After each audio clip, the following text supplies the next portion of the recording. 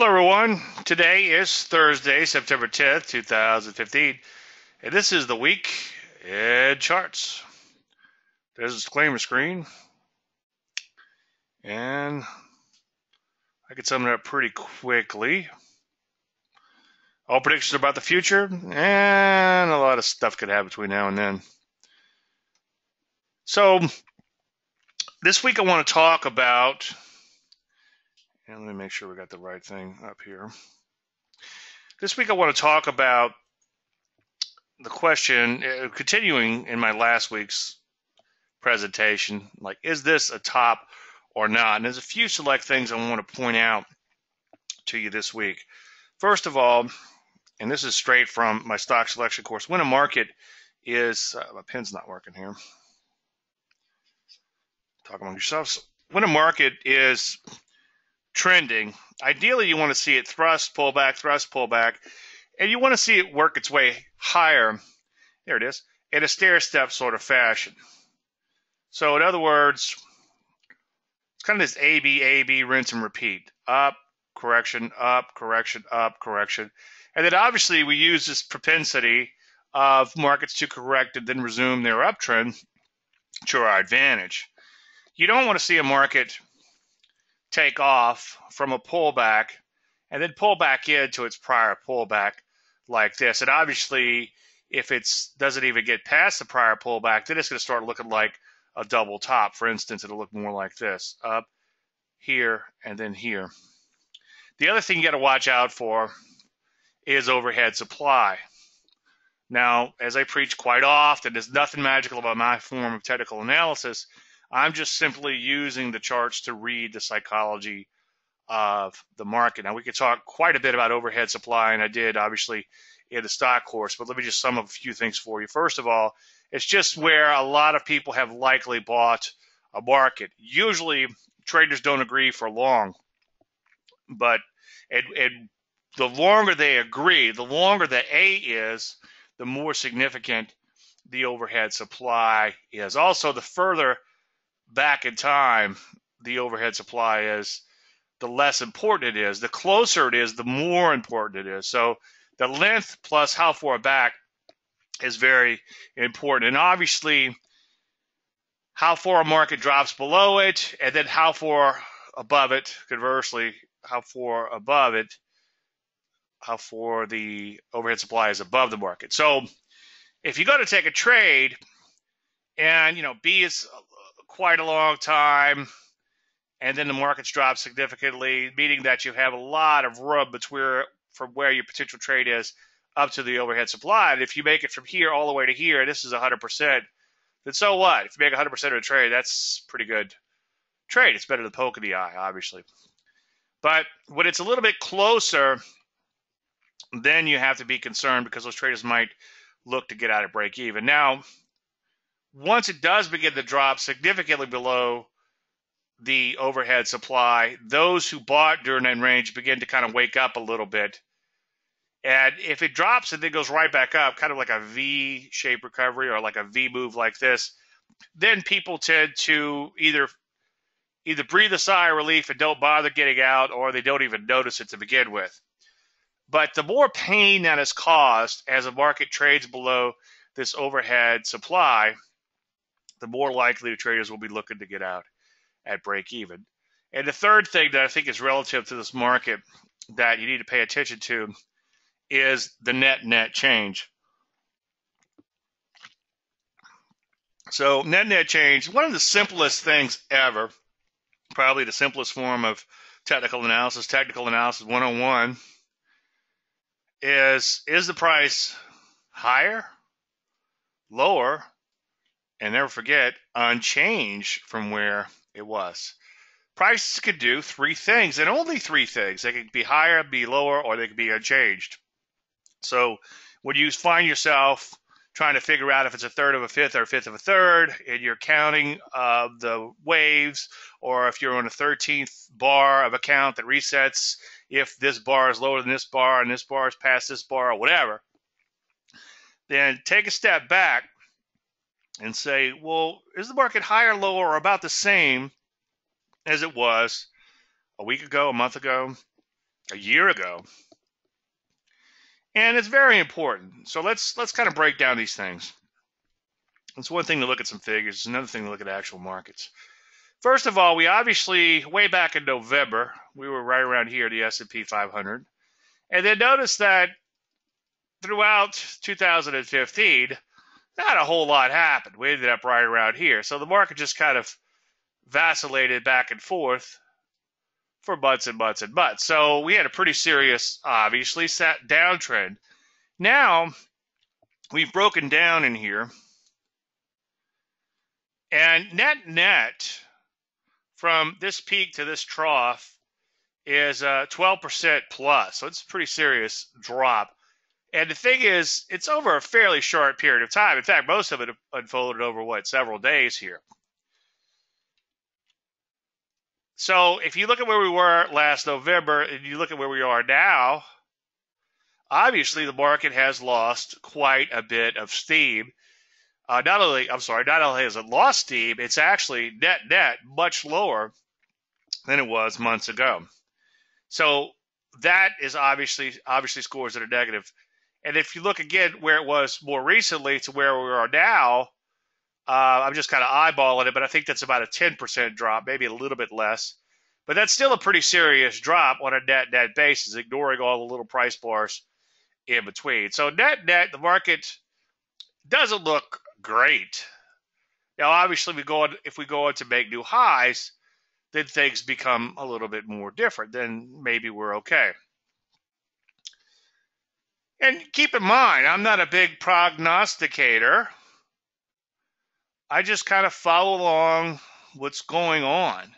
And that's how I earned, you know, the name. If you if you don't, it's trend following moron because I just I just look at the charts and try to peel away all the fluff.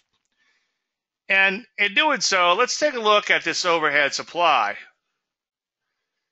Notice that this market for months and months and months and months have just traded in a range. Now keep in mind that traders don't agree for long. By the way, I don't want to digress too far, but throughout my public career, anytime the market does this for a significant amount of time, I get a lot of emails from people touting the spread trading and the selling of spreads and the mean reversion trading and blah blah blah and oh I wrote this system and look how great it is.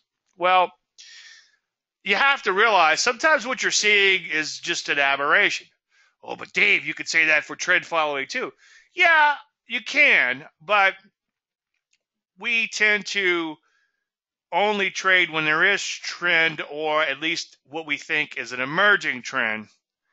And then the other time we sit on our hands. I don't want to digress too far, but no matter how many dead money reports I put out, or um, I guess it's kind of like a similar thing. No matter how many reports I put out by saying, just sit on your hands.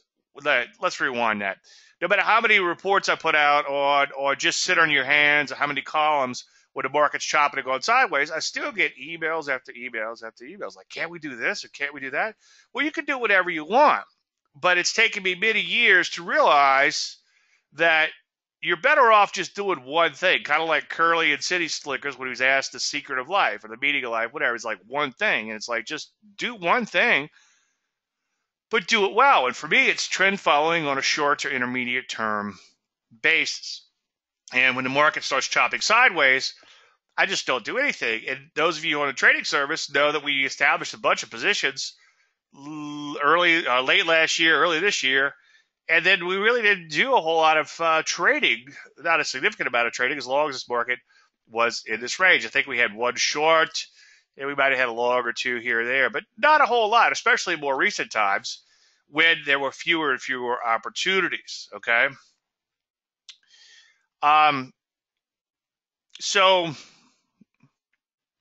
I'm getting distracted by a, a question. Ooh, I thought it was the F moron. Oh, yeah, I've been called that too. I've been called a lot. So, anyway, traders usually don't agree for long and never get caught into permanent market hypothesis because markets are always changing. And be careful that what you're seeing is not an aberration. Now, before I digress too far, again, when we're talking about overhead supply, so likely a lot of people have bought during this range. Now, somebody asked a very good question last week and said, Well, hey Dave, how do you know they don't they have it all sold? Well, you don't. But the fact that this unfolded so fast over, let's just say, three days, and for all intents and purposes, really two days, because the first line just was to get you to the bottom of the range.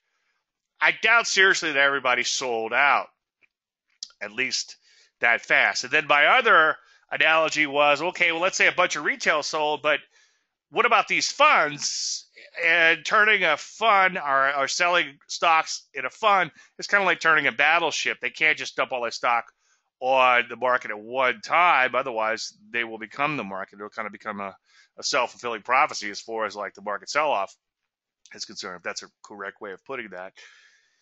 So they're going to have to scale out of their positions. And what they might be doing is using these rallies as a gift to get out of them. And the other thing I said, I don't want to digress too far on this. I guess it's too late. But like last week, I said, let's say you're you're a fund and you're long Apple, and you know you do the window dressing, and everybody says, "Ooh, Apple looks great." Do you have Apple in your portfolio? Why, yes, I do. Here's my Apple. See that I have Apple.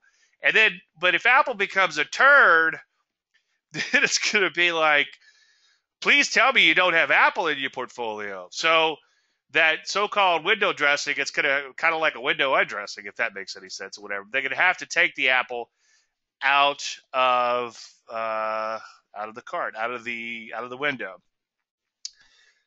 and it takes time to do those type of things. They can't just dump all that stock on the market at one time. Now, some people have gotten excited about this little rally in here, and that's good. That that makes me feel like okay, well, at least um, I'm seeing all these signs, and what scares me is it's, it's, it's almost too obvious. Okay, so the fact that some people are seeing it as a buying opportunity, opportunity tells me that human nature never changes, and that technical analysis still works. Now, I hope they're right, and I hope the market just goes straight back up because I'd much rather play the long side than the short. But as I preach, you have to play the hand that's dealt. Okay. Now, I digress quite a bit, but the point I'm trying to make is a lot of trading overhead, okay? So even if the market does begin to rally, and again, I hope it does, I got to be careful. You know, I've learned I've learned to rephrase the way I say things, especially around friends and family, because they don't see me. They don't care when I'm bullish. That doesn't seem to get them excited or anything. But the second I turn bearish, they all get pissed off at me.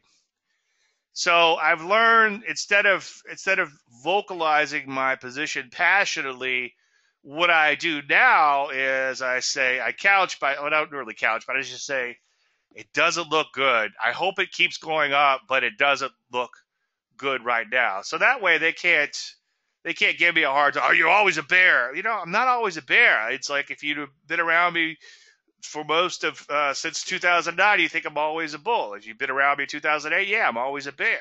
Okay, late 99, I'm always a bull. So it is what it is. I think the market's going to have a lot of trouble in here. Um, you know, I really hated the fact that we we dropped below this range. Now, what can happen sometimes, and I think it's too late now, but sometimes you get a range like this, and let's say you get this knockout bar out of the range. Sometimes the market can go right back up. This is enough to suck in some shorts, scare a few logs, and then the market takes off from there. But I think the damage has been done in two ways. One, the length that it drops below, and two, now we're getting some time below. So the more these two things work, length meaning time, and distance here. So let's say time and distance. That's probably a better way of, of putting it so it's not confusing. So the more time, the more distance you spend underneath the overhead supply, the more important the overhead supply becomes. It's also known as overhead resistance. Now, I alluded to the fact that you could have like a knockout move below a uh, base and then take off right back above it. And that actually will test out. But I think now we have a little bit more than that. So that kind of dovetails in to what's going on from the, the TKO perspective, trend knockout. Now, I've showed this chart or similar chart recently, and I just updated it today.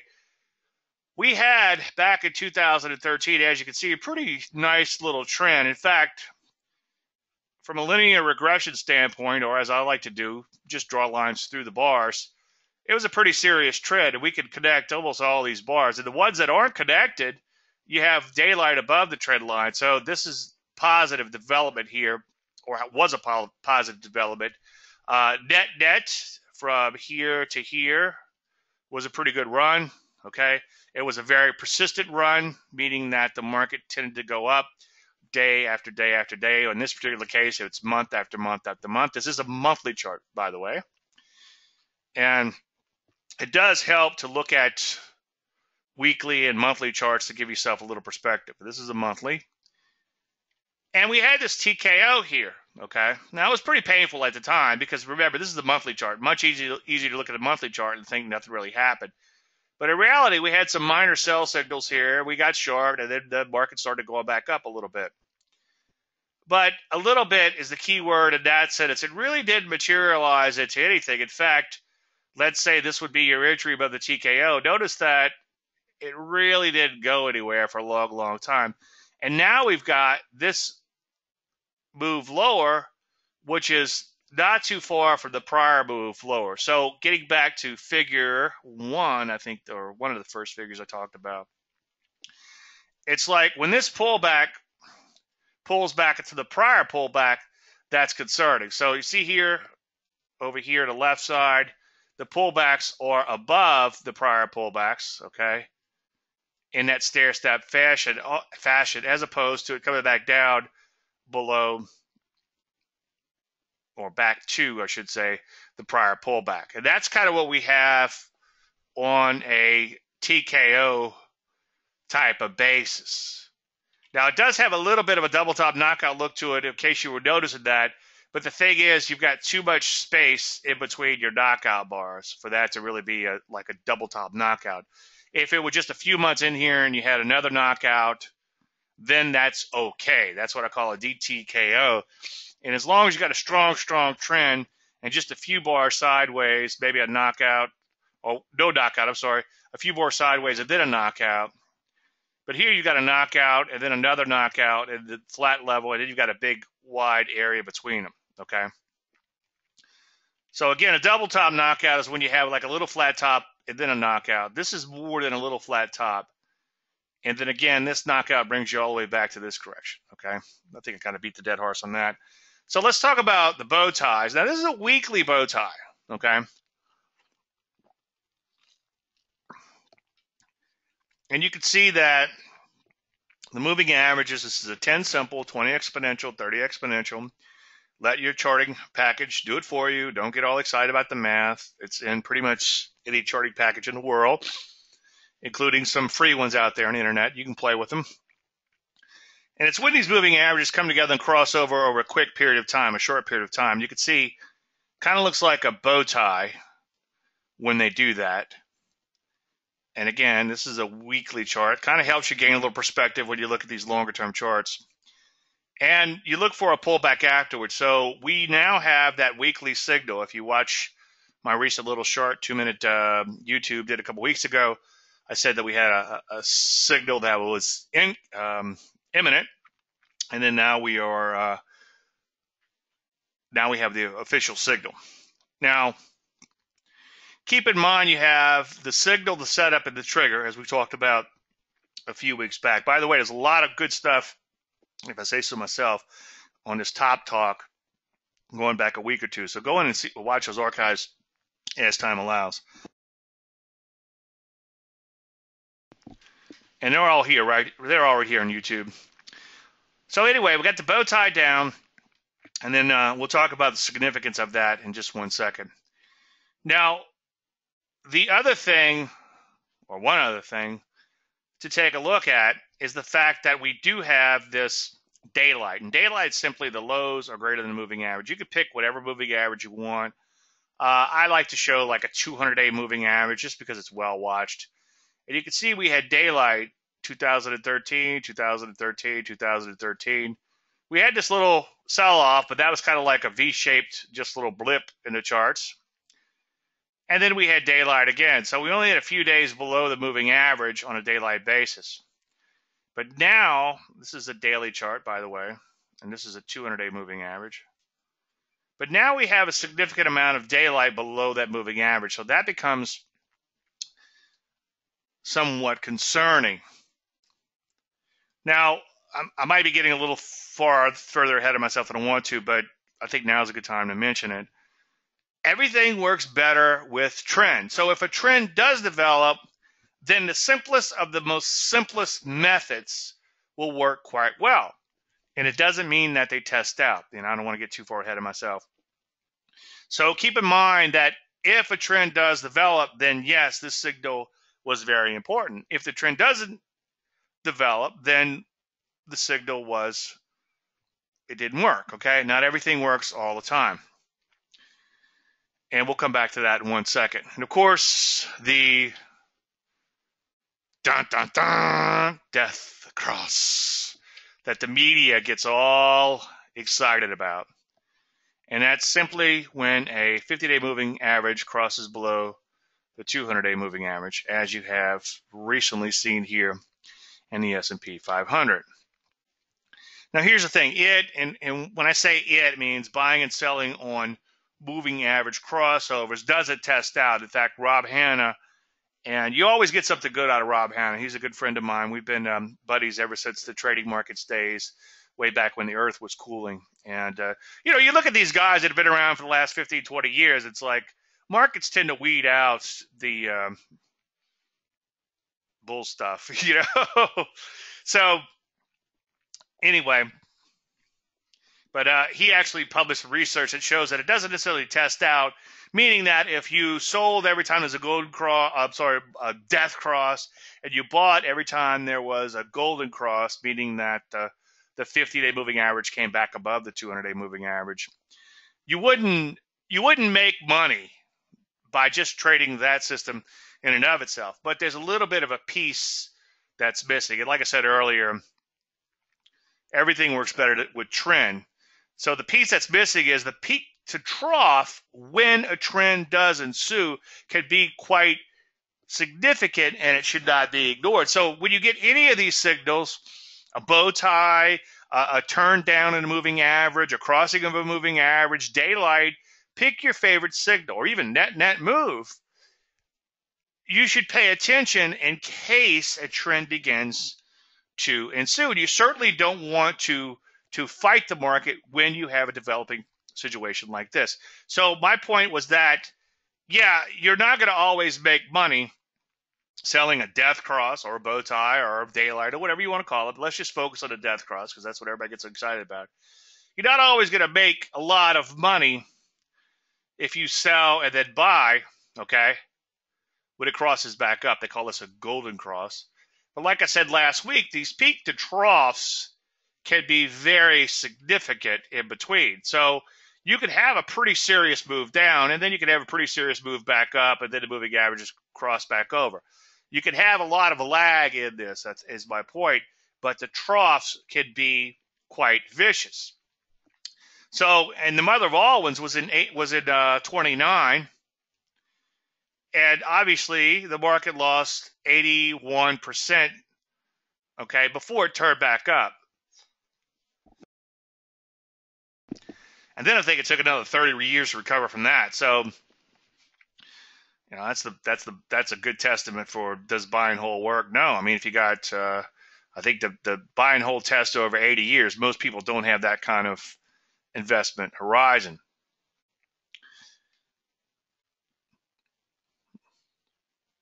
I'm actually missing a, a chart in here. Let me see if I could get this chart in real quick.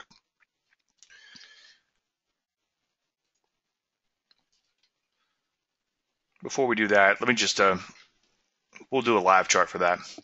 So here's the thing. If it's not looking good, what do you do? Well, you want to honor your stops on any leftover longs if you have any left. Like I said, during the range, we did have a few setups here and there, but over the last few months, there really wasn't a lot to do the long side. And that's by being super selective, it became harder and harder to find stocks. So the stocks in the existing portfolio just kind of slowly and methodically or systematically, everyone look at it, stopped out.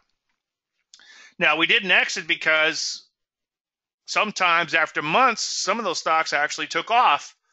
And then, as I always say, eventually, it's kind of like buying a pet, like George Carlin used to say. It's going to badly. You will have to give up some of that trend when you finally do catch one. So it is what it is. Okay. I've learned to become, I don't want to use the word flip it, but I've learned to become matter of fact, is probably a way of putting it. And I still get pissed off and I still drop F bombs when the market goes against me after being in a longer term trend. But I realize, eh, it is what it is. Okay. Try to keep a cool head. And if you're getting stopped out of the profit, so what? You made a profit. Don't look at what you could have made. And if you look at, because when you do that, and I find myself doing that like anyone else because I still have a pulse, okay? But when you do that, I find myself, and that's one thing that I've learned by being a public figure in this industry, is to become really cognizant of your feelings and really cognizant of what's going on up there. And as a microcosm of what others might be feeling. And it also helps to kind of like, whoa, it, you're cognizant of it. So you're aware of what's happening as opposed to have it happen to you and have it affect your trading. Now, the, what I'm where I'm going with this is that if you're upset because you gave up some open profits, then that negative energy might keep you from seeing the next opportunity.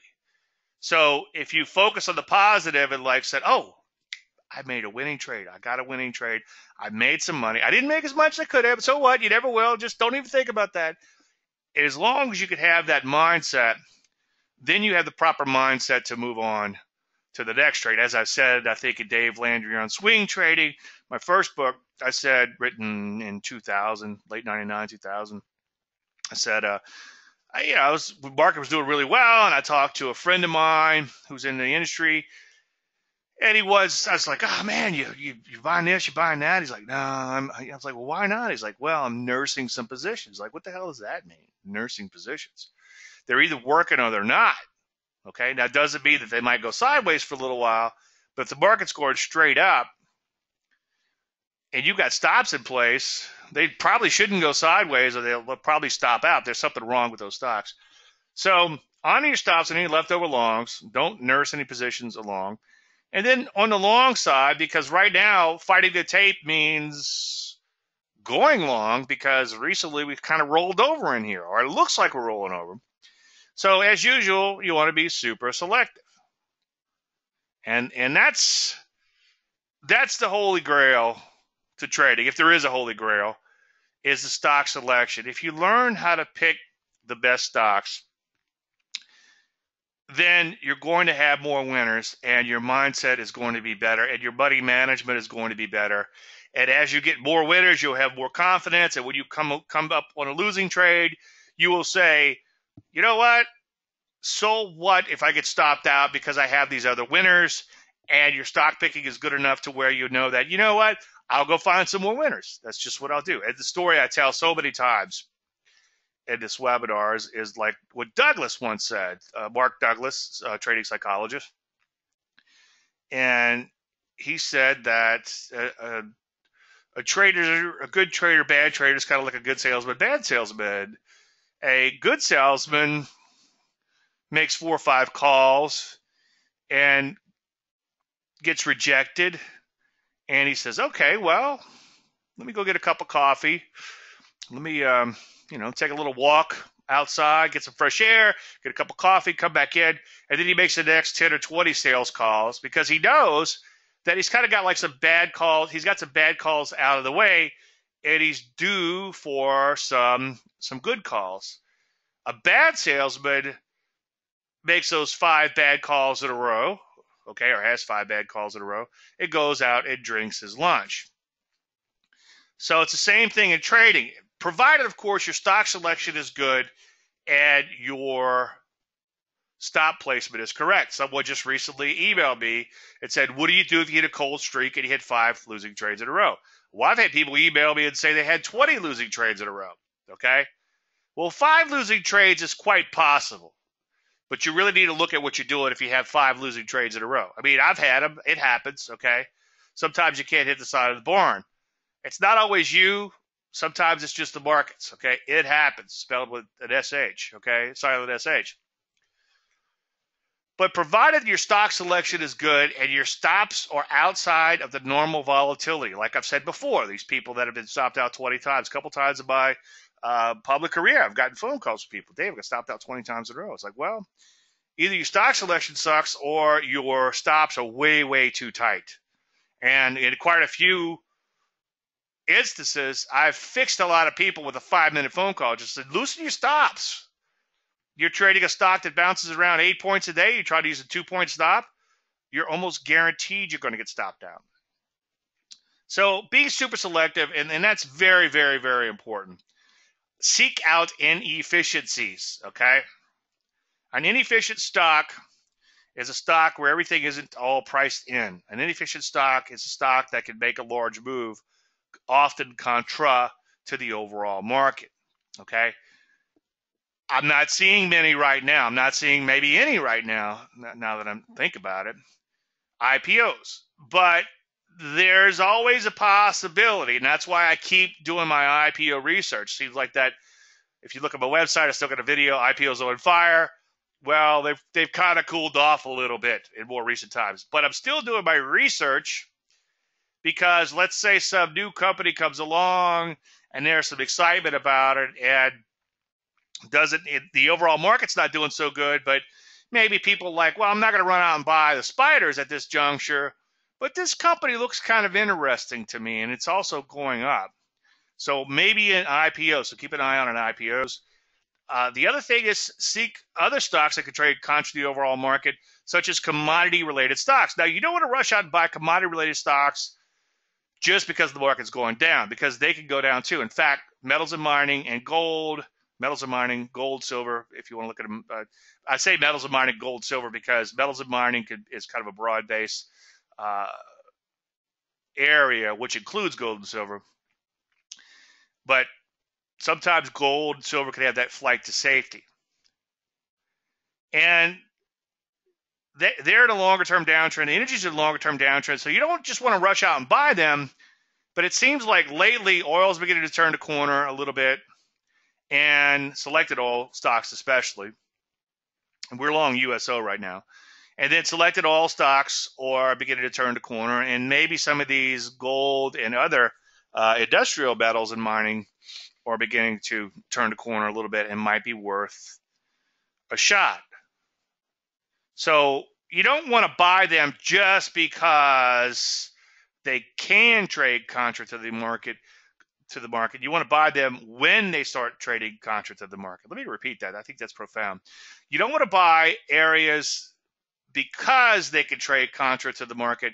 You want to buy those areas when they're trading contra to the market. Okay.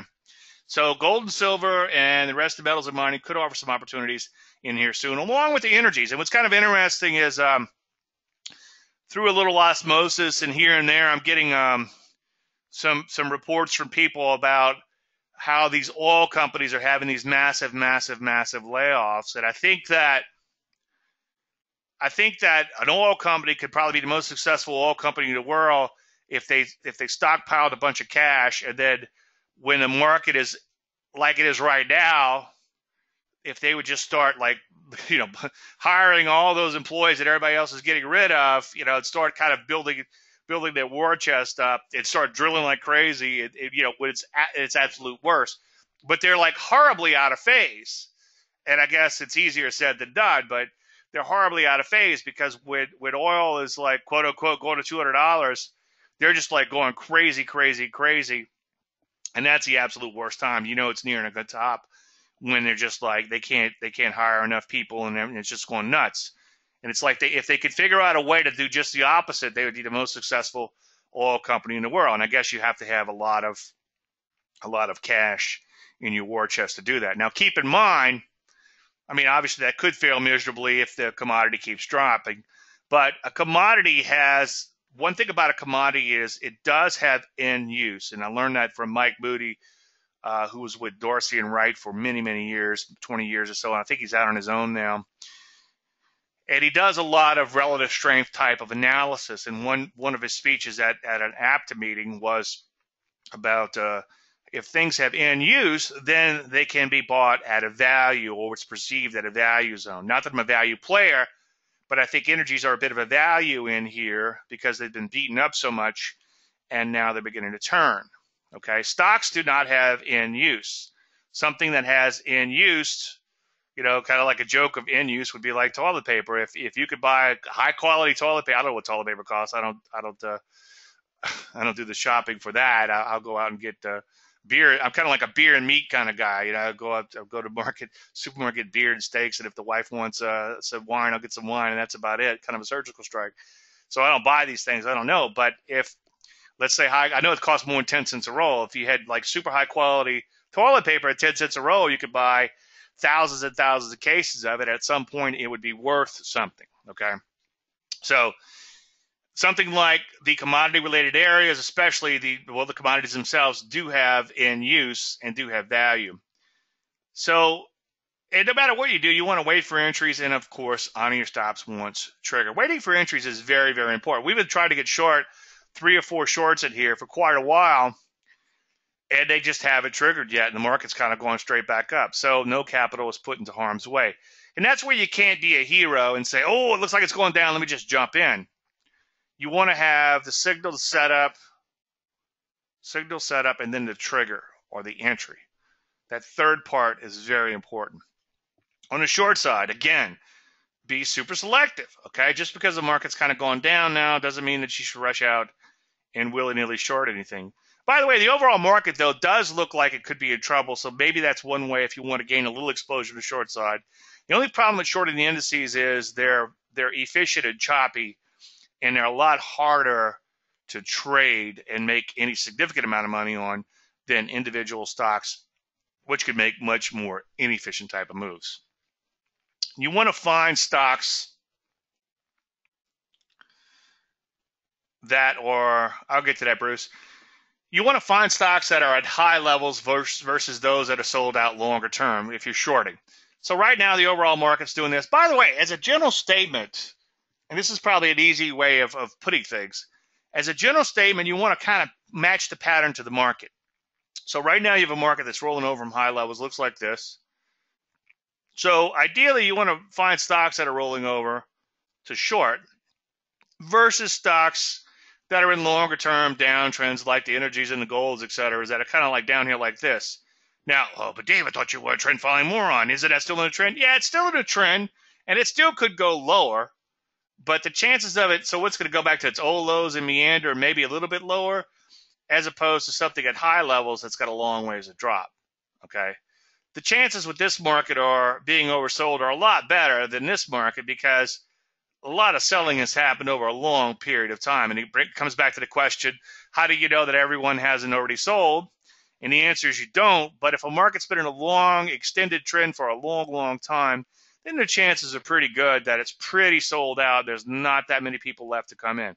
I'm not saying rush in and bottom fish because it could always go lower.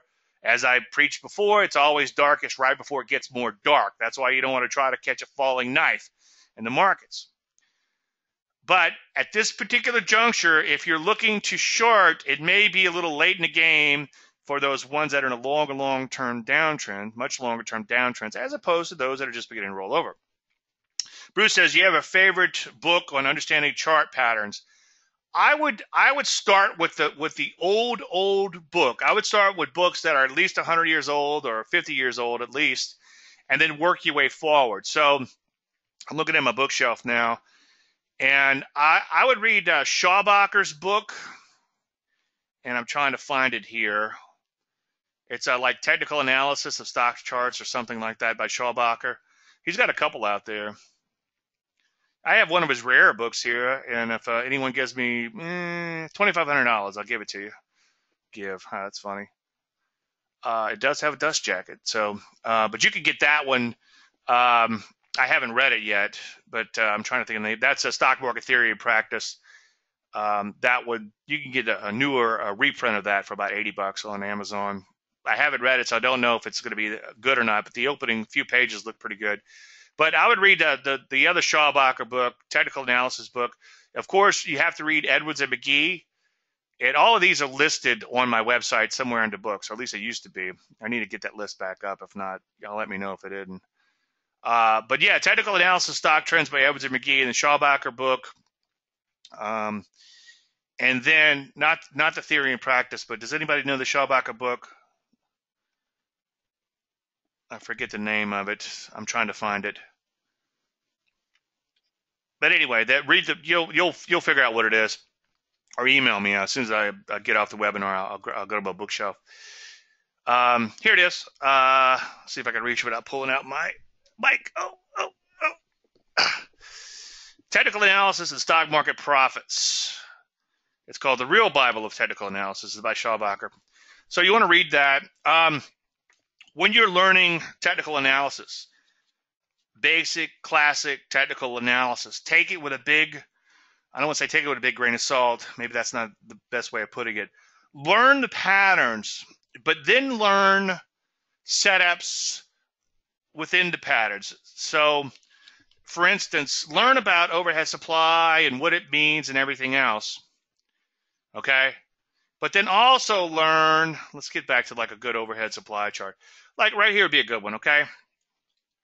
So learn about this, but then also learn some triggers, learn some signals, learn some setups, okay? Such as the bow tie or whatever your other favorite. It, it doesn't have to be mine. Um, the other books you should read, read more modern classics, obviously.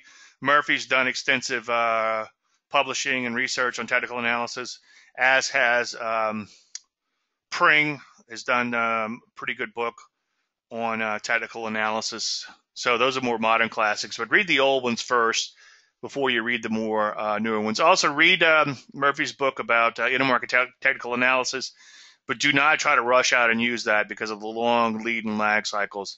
But it is good to kind of wrap your head around the intermarket technical analysis for when it actually works. I don't want to digress uh, too far into that. Pring's book is Technical Analysis Explained. I've read it many years ago. I don't even remember what's in there, but I know it's one of the more modern classics on technical analysis. Okay.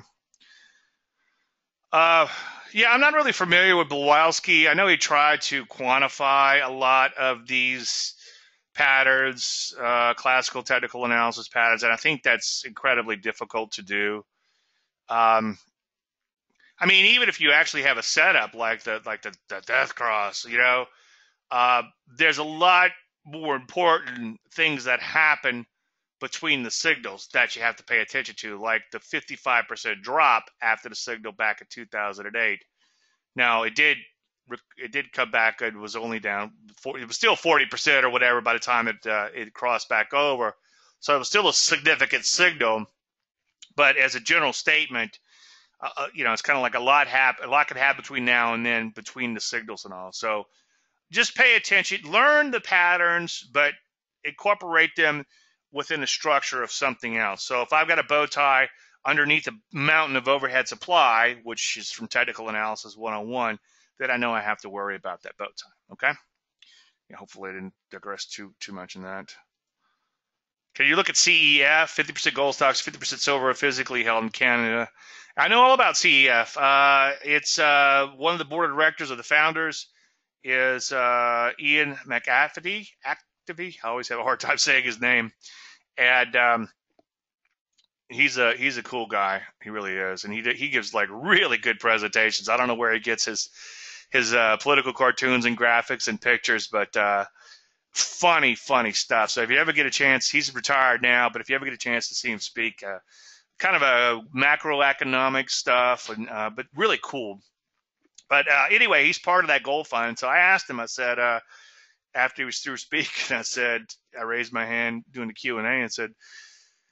Uh, if you blindfolded me, spun me around three times, rode me around for a few hours, would you could you take me to one of the vaults if I came up to Canada to visit you?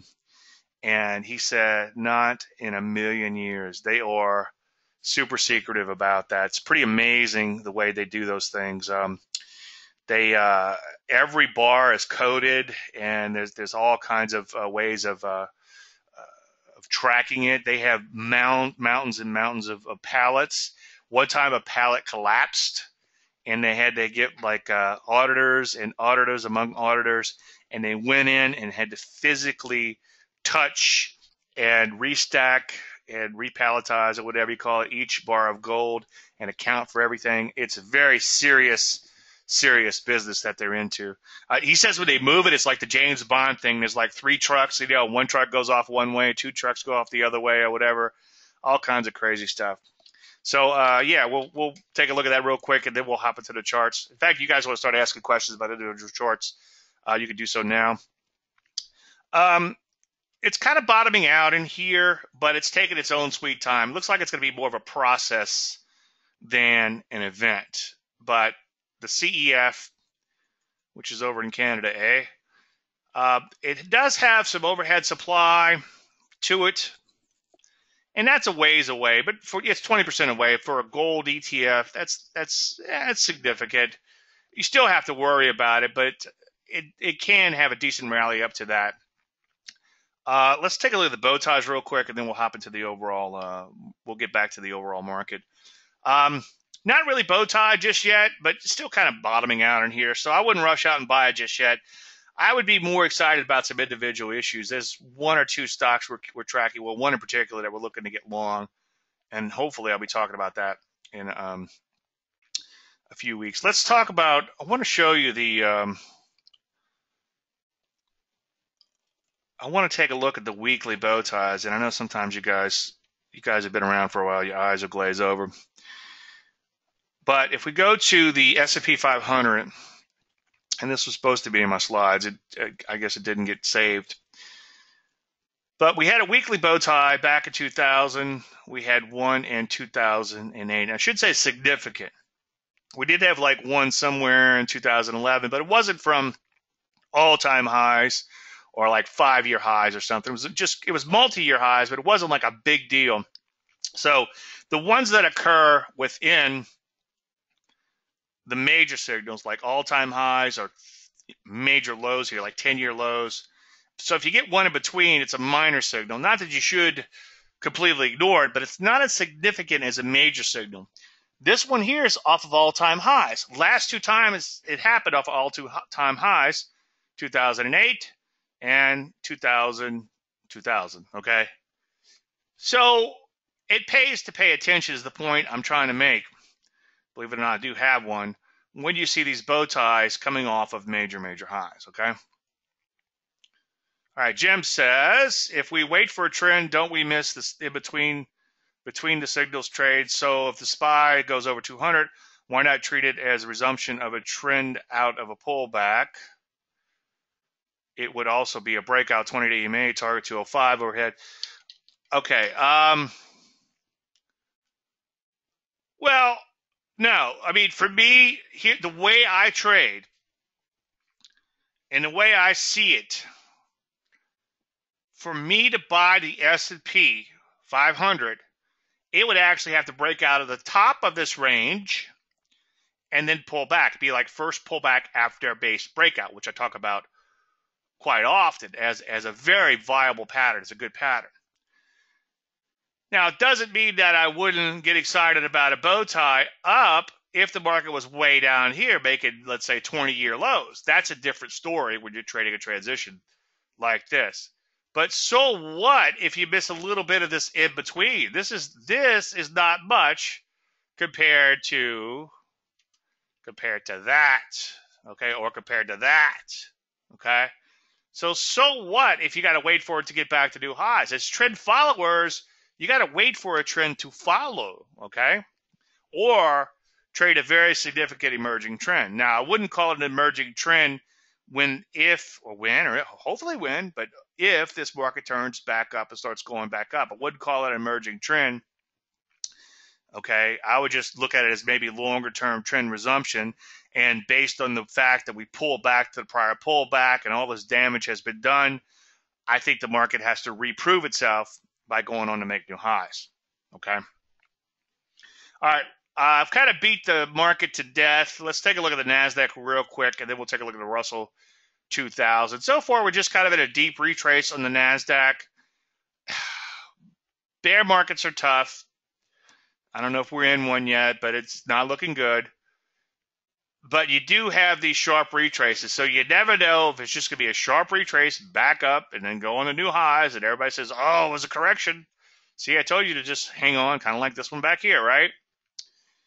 But this is starting to look a little bit more serious to me, even though we still had the sharp retrace.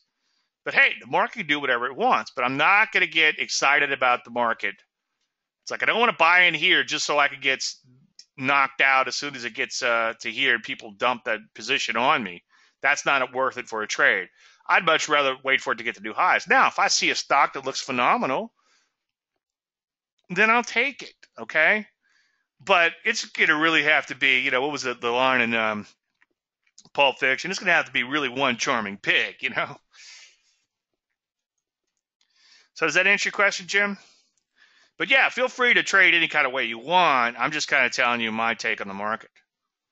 Do you use 10, 20, 30 moving on all time? Okay. Do you use 10, 20, 30 moving averages on all time uh, time frames? The answer is yes. Um, you know, it's like I preach against day trading, but kind of guilty as charged. Every now and then, I'll, I'll, I'll I keep the forex screens open, and I have them shut down while I'm doing this presentation. But I, usually I keep them open uh, on on a couple of monitors. I mean, I have all the monitors, might as well use them, and might as well watch everything. I occasionally will fire off a a a trade off a five minute chart if it's just if it's just I can't stand it. Okay, if it's like a it's like a bow tie coming off of like a major major like a five minute bow tie coming off a market that's making a major major low. So I've got the longer term time frame working behind me and all that. So, but that's not the bread and butter. That's kind of the S and G type of trade. So I know people that trade a lot of uh, like five minute bow ties and stuff in S&P futures, or at least used to, and things like that.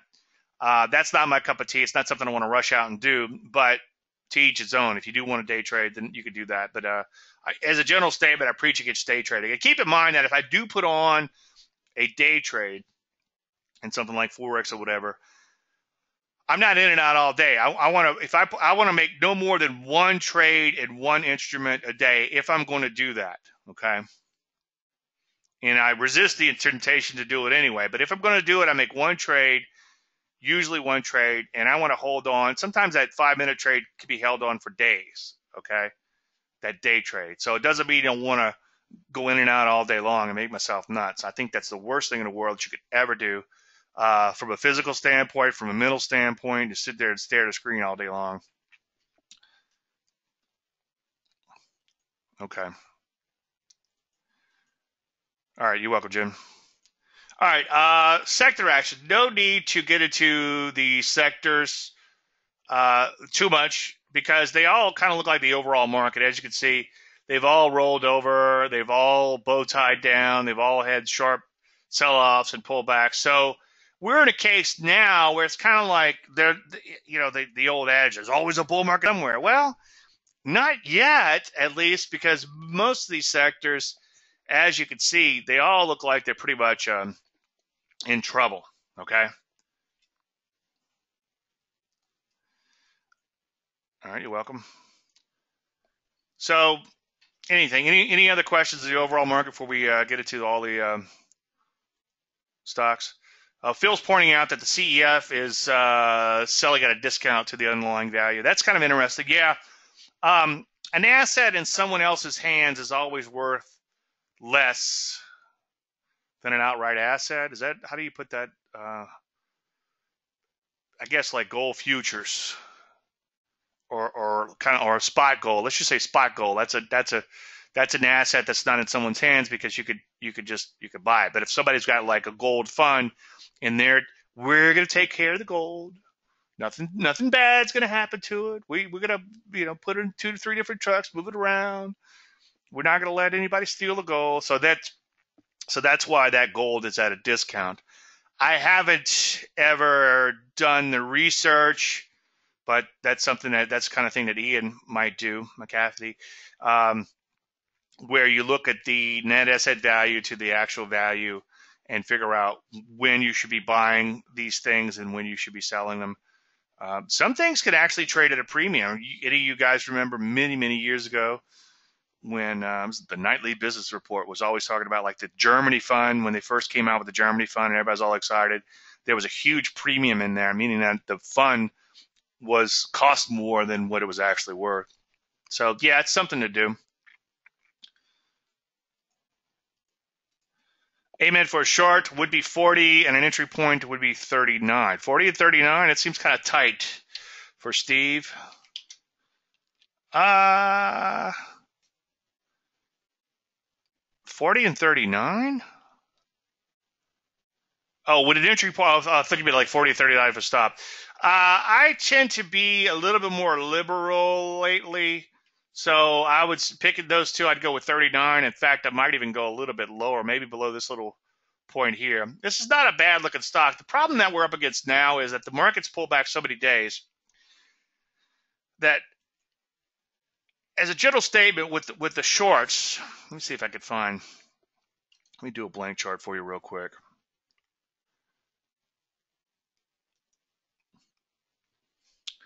With a short, pattern, emerging trend pattern. Let's use the first thrust because that's kind of like an easier one to talk about.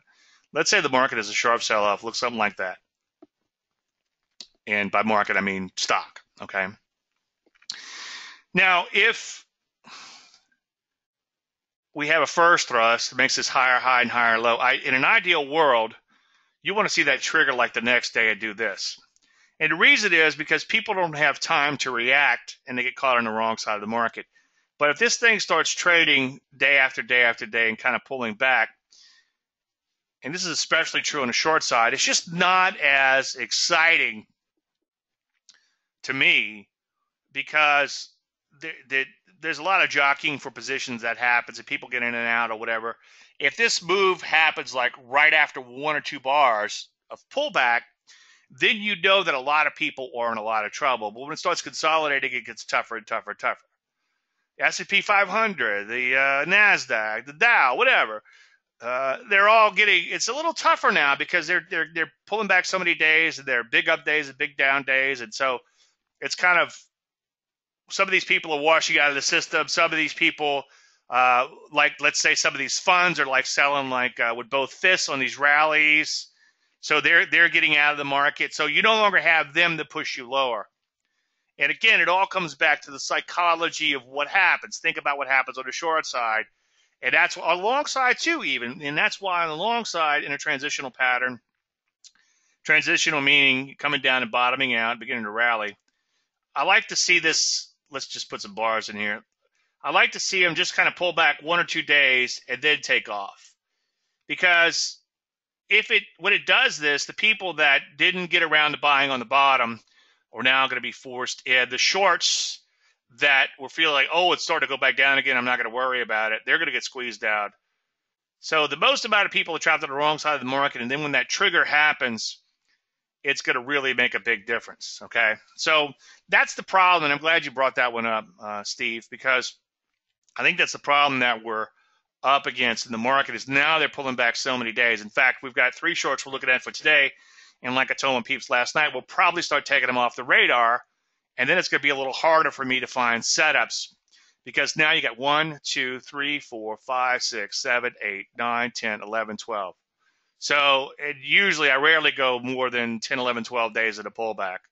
So yeah, I think the stock's still in trouble. Uh, I think your entry should be way down here somewhere. In fact, let's take a little crosshair on that. Maybe around yeah, I think 39, even 39 would be too tight. I'd put a little lower, maybe below this little pivot, 38 and change or something. But again, a lot of days in the pullback on that one. Okay.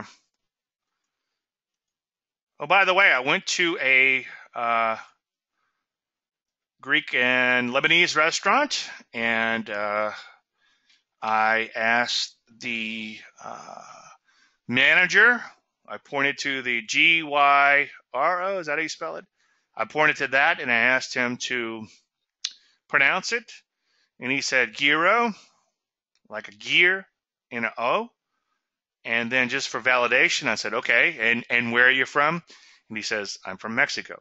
So I guess the jury is still out because I couldn't find uh, someone from Greece there to ask. But I do have a friend in Greece, my editor from Traders Magazine uh, lives in Greece, and uh, I keep forgetting to Skype him. So I'm going to Skype him between now and next week, and we will solve this uh, gyro, gyro, uh, situation. Uh, DPLO, a short or need more pullback? DPLO. Uh, Well, you kind of had a first thrust here, and then now you've got this kind of consolidation here. I think it's in a lot of trouble, but I think I would. Um, I think I'd maybe find something else at this juncture. So yeah, at this at this juncture, it's too shallow. Now I do like shallow pullbacks. If you're short, stay short because on this day here, that would have been a short because it had that one big up day, that one day pullback. But now it's just kind of meandering around. So if you got short on that one big up day in the first thrust, then yeah, stay short. I'm more excited about um, less efficient stocks on the short side right now because they're they tend to be more priced for perfection as opposed to a biotech or something like that because biotech they can come out with a cure for something or whatever and they can have a huge pop. Whereas some of these more established and, and especially like single dimension single dimensional single dimensional companies when they begin to crack because they're they're more priced for perfection they could roll over a lot faster. Do you find beta contra do you use beta to find contra market stocks i use historical volatility which is H, which I call HV, which I have on all my charts right there. I don't know if you can see it to give me a feeling for what the beta is of a stock. Beta is um, how a stock trades relative to the overall market. Uh, on the short side, you, you tend to you could tend to go with a little bit lower beta stock, and you're looking for that you're looking for that expansion and volatility versus shorting a vo- more volatile stock to begin with.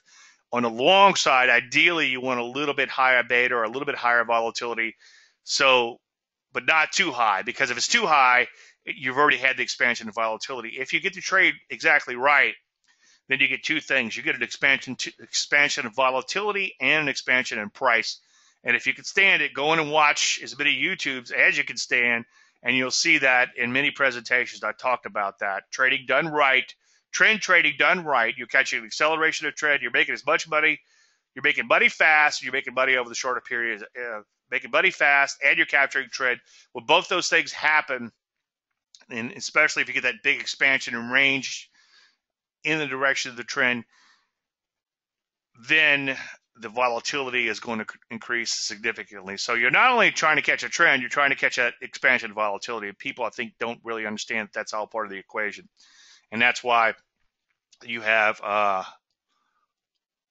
that's why it's important to trade the stocks that are that are volatile enough to trade, volatile enough to move, but haven't already made such a volatile move that they're just kind of like all over the place, and it's too late to trade them. HV, good. We'll watch more videos. Thanks. Oh, you're welcome, Jim.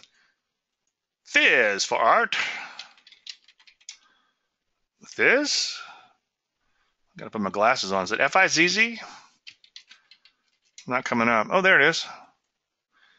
Yeah, now you don't want to rush out and buy food stocks because, in fact, let's take a look at them real quick. Food stocks right here, because even the food stocks have rolled over. Now you got to be careful what you learn or read about markets because in some cases they might say, well, if the market begins to roll over, you want to buy defensive stocks. Well, not necessarily. You buy defensive stocks if they're going up. So if I had a food stock that looked good right now, I'd say, well, people still eat in a bear market or a consumer non-durable stock that looked pretty good because people still use personal products in a bear market, okay, or, or maybe to some extent, maybe a big drug company because people take drugs in a bear market, maybe even more drugs in a bear market. So these so-called defensive issues can offer opportunities, but unless you're Bill Clinton, what is is. Uh, as I wrote my column, I think Steve Todd said, and it was a quoting from Tom McClellan's blog: "Is you is or is you isn't in a trend." So this doesn't look like it's in a trend to me. So it's going to have to be uh, one charming pig for me to rush out and buy a food stock. Now let's get back to your stock question. First of all, notice that this stock has very, very, very, very, very tiny volume, okay? 47,000 on average shares. That's way too thin to be trading. Now, as a private trader, you could do these kind of things. You could trade thin stocks, you know, because I know you might be saying, but Dave, some of those IPOs you talk about are really thin. Yeah, I know. And as a private trader, you could trade those thin stocks. But once an issue is more established, ideally you want a little bit more volume in the trade to make them a little bit more liquid. The more liquid the stock, and obviously the efficiency comes down with liquidity. Not enough time to get into all that, but just know that the more liquid a stock, the less frictional costs you're going to have, the less spreads to deal with. Uh, and the spreads cut both ways on the way in, the way out. So it's much easier to get in and out of a more thick stock than it would be to something like this, which not trading many shares at all. I mean, what's at 9,600 shares so far today? You know, you go in and trade a thousand shares of this, and then you're what, 10% of today's volume? So be careful on that. So as a general statement, I would ignore it on that. But I hear you. It's breaking out. It hasn't really pulled back just yet. So it looks okay. Uh, I don't like the way it's kind of, it's just taken out this prior top. The way it's just barely above this prior top, I guess I should say. Um, I'd prefer if like all this price movement was above this prior high here. So based on those reasons, I would pass. Peter wants to know about RIG, R-I-G. All right. Yeah, this looks fantastic. I mean, at first glance, okay, let's pick it apart a little bit. Um, but I'm seeing a bow tie. Now, that's kind of bow tie you want, or that's the type of transitional pattern you want. Something in a much longer term, long, long, long term downtrend. Let's take a look at like a monthly chart, or yeah, let's let's pop out to a monthly chart. Okay, this stock was at 130 bucks a share a few years ago more than a few years ago. I guess what five and three, eight years ago, and now it's at uh, 14 bucks a share. Now, well, Dave, you said don't buy something just because you think it's low. Well, I'm not saying buy it because it's low, but I'm saying that keep an eye on it because it looks like you could get a bow tie in here. I'd like a little bit more significant thrust from low, but it's made an okay move. So uh, I'm, I, i am not saying that it's not set up just yet, but I would definitely keep an eye on it for uh, a setup. What do you think about Beat? That can be a fun one. Uh, Beat looks good. And you got okay volume. And, you know, here's a stock that's defying gravity. It's, it's headed higher. So, yeah, on a pullback, this one should be in my momentum list. If not, shame on me. 100, 100. I need to clean that out. Let's see, beat. Nope. Yeah, there it is right there. So, and that's the beauty of uh, tracking a momentum list like I do, just because it, it, it helps to let you know what's going on. But yeah, on a pullback, maybe. It's going to have to be a really beautiful setup, but you've got persistency here and you've got some acceleration higher. So you got the makings for a good trend and a good pullback. So good eye on that. High five, okay? Even though it's not set up yet, high five. First high five of the day. Don wants to know about CENX.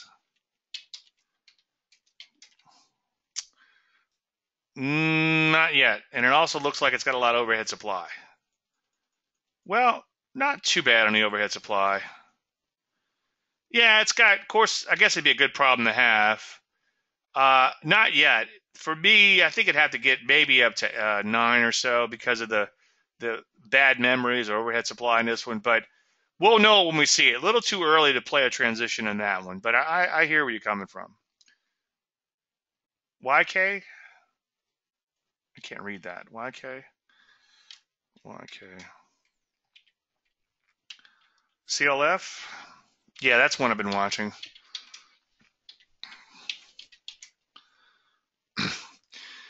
Does have the overhead supply. I liked it back here. Notice I've got it all drawn in, and you know, in hindsight, it had a pretty decent move. And in hindsight, I guess that's enough move to make a trade worthwhile.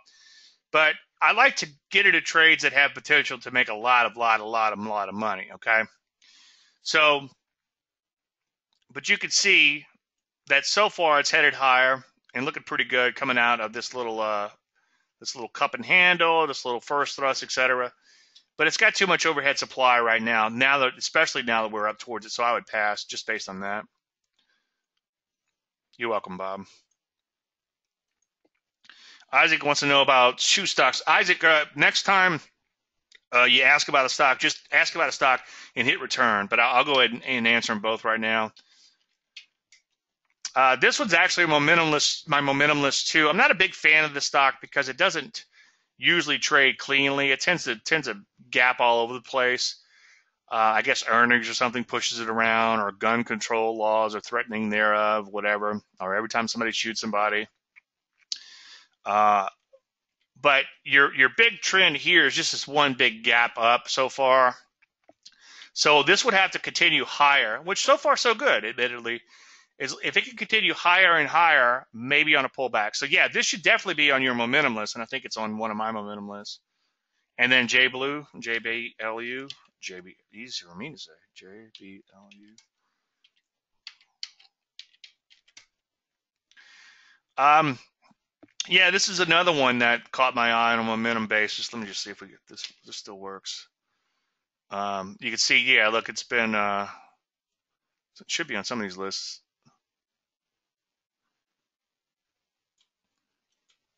But yeah, it's definitely uh, defying gravity.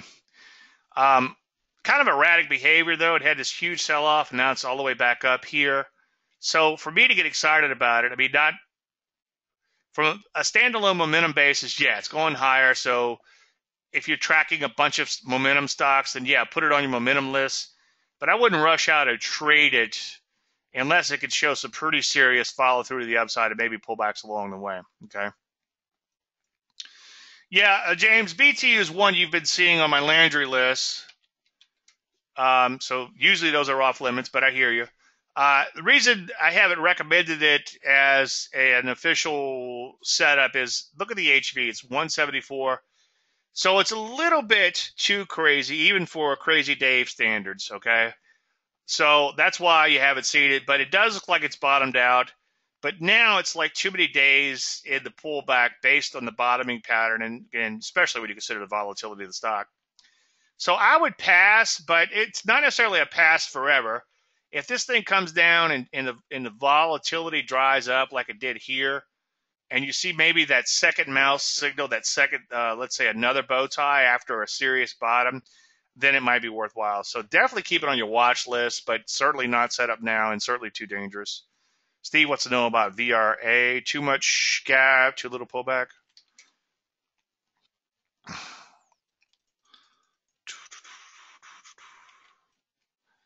Um, well, you've got a tons and tons and tons and tons and tons of overhead supply. So, but eh, no, it's too far away to to get excited. Uh, is it too much gap? Um, it's not bad. It's it's you know if I'm just seeing yeah, it's a little bit a little bit too much gap. But as a general statement, it looks pretty damn good uh, because it's coming off an all-time lows here. Uh, I wouldn't get too excited about this bow tie because this is what I call a forced bow tie. When price makes a big, huge jump like that, the bow tie uh, happens. Uh, it's kind of forced to happen. So it's not like it bottomed out and bow tied or whatever. Uh, I think it looks pretty good, but I would pass based on this unbelievable mountain of overhead um, um, resistance.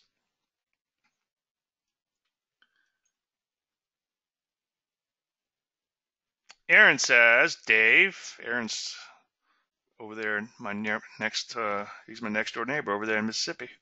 Uh, what do you do to find possible new trends forming that may not show up in your scan list? Okay. Quite simple. Look at two, 3,000 stocks every day. And you could have seen uh, Aaron says, my coon ass neighbor. um, that's a badge I wear proudly. I'm about, uh, I think I'm over half Cajun. Got a little German in me, um, but I'm mostly Cajun. Uh, so what do I do to find ones? Yeah, because I did that see metals and mining pop up much, but it looks like a new trend forming. You just have to look at everything, and then at the least, make sure you're looking at.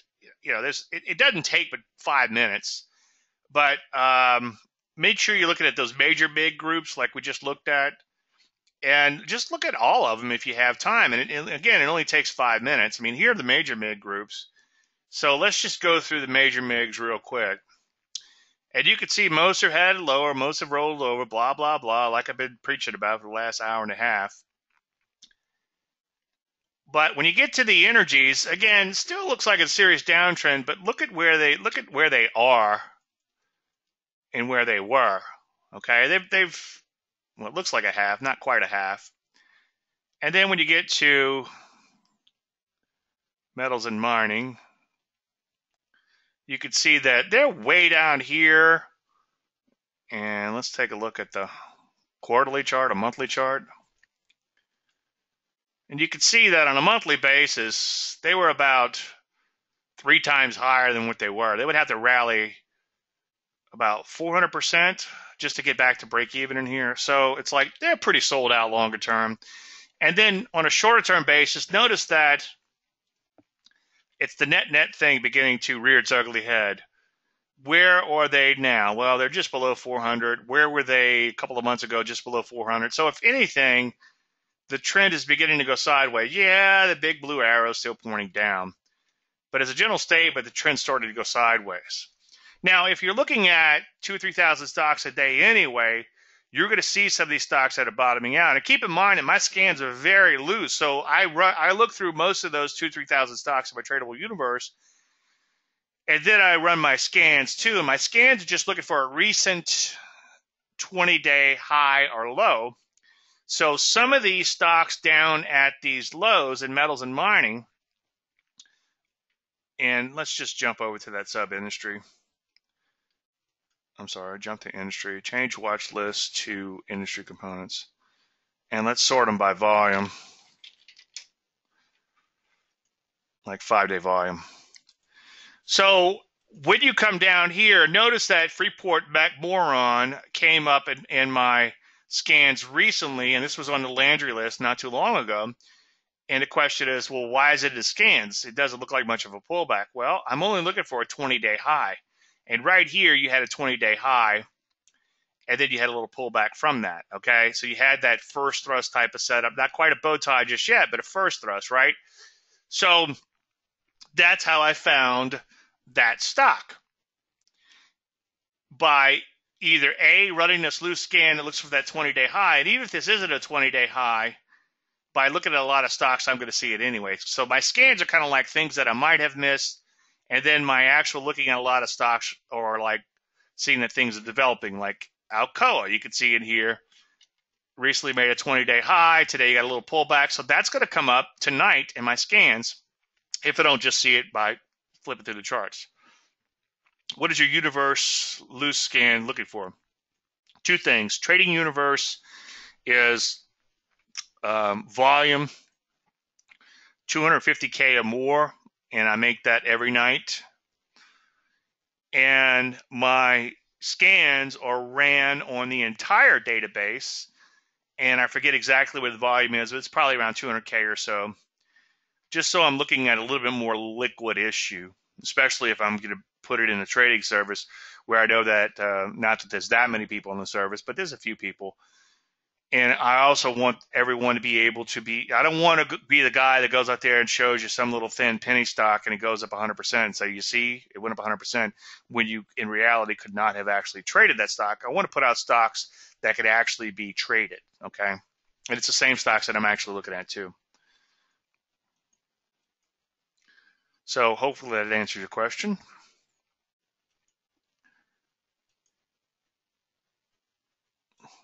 You're welcome. Aaron. Amber? Uh, nope. You want to short it or you want to buy it? No, it's in a pretty serious downtrend. You certainly don't want to buy that. Okay, that's pretty obvious.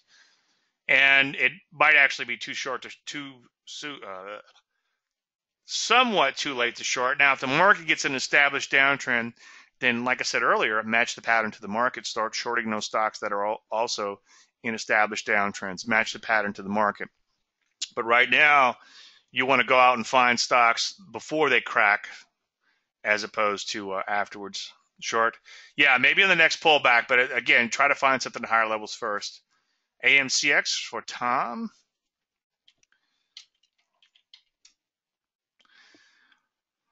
Well, you kind of got this second pullback back into the first pullback.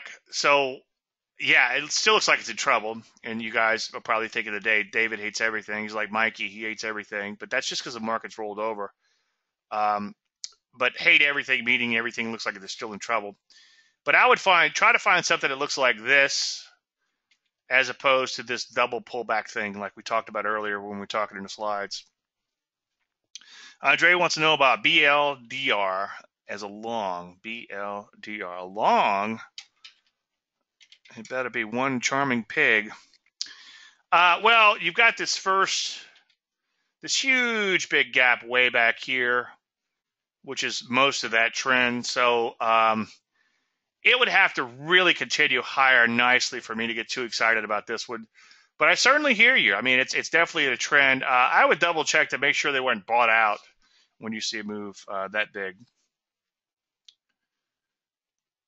How do you see Skechers now? I'm short Skechers and losing a little bit. I know you saw it last week. Short side's tough. I'm not going to make no bones about that. Well, you just follow your plan. Um, I think it's still in trouble. It's too. I would not short it now, but if you short, stay short. And then um, I don't know if this line up here is what I drew, but you need to fairly give it a fairly wide berth, and hopefully you traded fewer shares um, based on that. But yeah, I still think the stock's in a lot of trouble, but you might be at the mercy of the overall market if we have a sharp retrace of the overall market. Okay. Calvin wants to know about FTK. FTK. Uh, it's not bad. Uh, chemicals, I think, are pretty not so hot lately, but uh, it's not bad the I don't like this big. I don't like the way it gapped up in here, and then had this big thrust lower. So it's kind of a little wide and loose. So I think I would pass based on that. But my initial reaction is it's not bad because it's headed higher in spite of the overall market. Maybe that's why I initially thought it looked good. But as I kind of pick it apart, I'm not as excited about it as it was. So maybe some of these metals in mining that are bottoming out, uh, just start keeping an eye there. Thoughts on the quid? Uh, be careful with these inverse things. The tracking errors can be abysmal.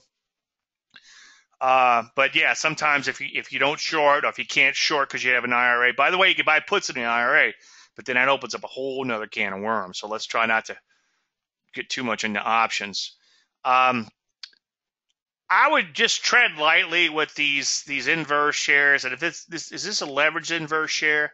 Uh, they could they could really be the worst. I mean, a while back, just a, just as an experiment, I tried to put some into my Landry 100, and it really crippled my performance. It really messed them up, messed up the performance. Uh, if the market makes a really strong move in one direction and persistent move, then yeah, they could do really well. But they're tough to hold on to longer term, especially because on the short side there's decay, and then if they're leveraged, it makes it even worse. So you got to be really careful. They're tracking the day over day change is what their goal is, and they're going to have some um, tracking error in that. But if you think about it, if you're tracking day over day change, that's a lot different. The one day change is a lot different than like a multi day change. So even if the market does go up 10% or down 10%, whatever way you want it to go, if they're tracking that day over day trade change, then there's a tracking error that's introduced. Now, someone, um, I think it was Steve Place, was saying, Dave, that you're wrong. They're doing exactly what the prospectus says they're going to do. Prospectus says they're going to do. But in reality, though, if you are tracking the day over day change, it's going to exacerbate that what appears that apparent tracking error. Okay. So stay away from those. And then here's the thing you could day trade them, but then even if you're day trading, if it's triple leverage, then you could only buy or sell a third of what you normally will. So be careful of that leverage too. So I would just I would avoid them at all costs as a general statement. What do you think about inside bars? Oh, I love inside bars. I like outside bars too, but only when it's cool outside or if I'm like at the beach where I could go jump in the water. Oh, you're talking about stock charts. Oh, okay. Uh, what do you think about inside bars? Have you ever tried it? Does it work? Um, no, not really. Uh, I mean, unless you're trading a really short-term pattern, maybe let's look at the spiders or something. Um, you can get a volatility compression.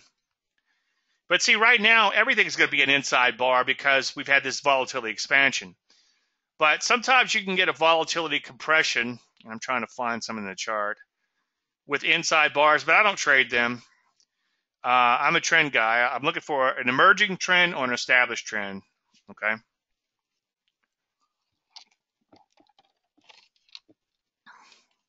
But yeah, there's some much, much shorter term patterns. But the problem with trading short, short, short term and and not holding on for longer term gains is that if you have a big loss, you don't make enough money on those little short term trades. I mean, there's some really fascinating things you could research, like compression of volatility and inside bars and narrow range bars, and that, a lot of that Toby Crabel stuff's kind of cool, the narrow range seven and all that other good stuff.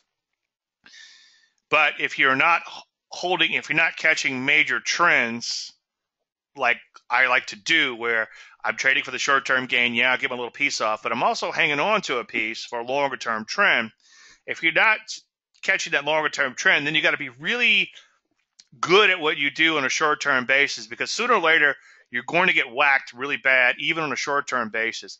And if you have big longer term gains from stocks that you held on for six months, eight months, a year, whatever, then it helps to mitigate those occasional little whacks that you get, for lack of a better word. So just be careful with that. Hush Hush, anonymous wreck ticker call within movie Mud. Cool Mississippi kid movie. Mud. I have to watch that. I, I just, I don't know. I got it on. I see it on Netflix all the time. Is it any good? Um, this looks like a major longer term bottom. Uh, it's a li- it's just too wide loose though. It's all over the place. It's uh, Jackie Mason stock. It's up, it's down, it's up, it's down, it's up, it's down. So I would pass based on that. But I hear what you're saying. It looks like a major bottom's in place there. FTK, not the second guess, but is the energy sector, but a stock that has already moved higher. Curious your view. FTK. Did we talk about that one? Uh, yeah, we talked about that one. I think we just kind of beat the dead horse in that one a little bit. All right, lightning round. AVG for short for Hari. I hope I got your name right. he emailed me a while back because I kept saying it wrong. Um, did I get it right? I have a lot of names to keep up with. I'm sorry if I didn't.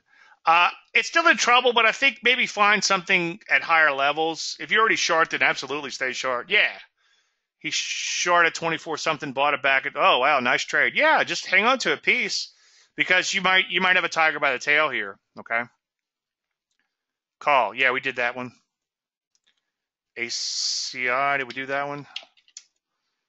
Um, this one was on my list, but look at the, uh, this is why I didn't recommend it. 291 is the HV. I mean, this thing went up like 1,000% over a few days, and then it had this huge retrace. Uh, if this scaling wasn't so extreme, this is kind of like the gatekeeper, even though I'm not a big fan of it on the short, or long side, I should say. Prefer the short side. But I would I would pass on this one just because the volatility is so crazy. But I hear you. It definitely looks like a bottom. So you're welcome, Jim. Win for Don. Uh, this is one that I've been keeping an eye on. Um, it looks okay. It's not really set up now, but it's certainly bottoming out in here and certainly in a pretty good run off its lows. But it's not set up at this juncture. Sid for Howard. That's going to be a steel stock. Yeah, I mean, it could set up soon. I mean, um, a lot of these lower tiered, I'm starting to see like less than a dollar uh, energy stocks are beginning to set up in here. Some of these lower tiered metal stocks, like this one, are beginning to set up and you know you've got tremendous volume. So even though they're kind of penny stocks, uh, but yeah, it's not quite set up yet. But absolutely, that's that looks like it's bottoming out, and that could uh, could set up soon. So keep an eye on that one. EFOI thoughts today on the pullback for Mr. Reese.